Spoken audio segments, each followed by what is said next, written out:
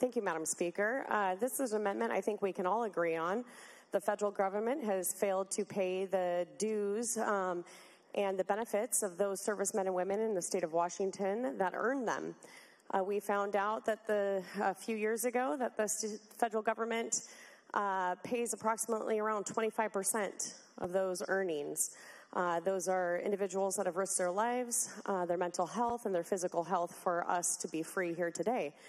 This bill was brought forth a few years ago, and within um, the last couple years, uh, the report come back from the Department of Veteran Affairs shows an astronomical return on the dollar that we spent getting veteran service officers into these counties.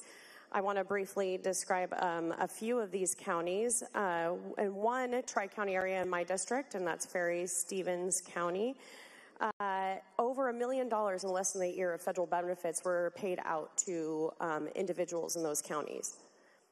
That is um, astronomical when you talk about almost the amount of the county budget was due uh, for veterans. Uh, those veterans uh, did not have heat. Many of them were living, um, cutting down trees around their house just to burn it to stay warm.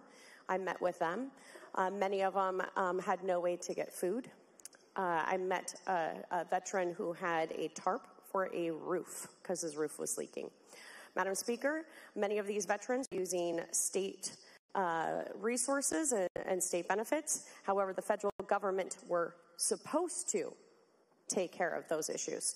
Uh, Madam Speaker, in Cle County, $152,320 is now paid monthly since this policy path passed to individuals in the 24th district.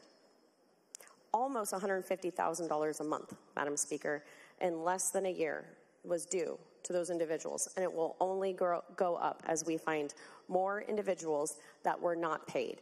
Madam Speaker, once again, from the Department of Veteran Affairs, 80% of unfunded federal funds were due to the individuals in the state of Washington that earned those funds, and this uh, bill, once again, just funds those uh, counties that are needed to make sure the individuals that have risked their lives so we can be here today and argue this wonderful budget are paid the federal funds that were due to them. I urge a yes vote.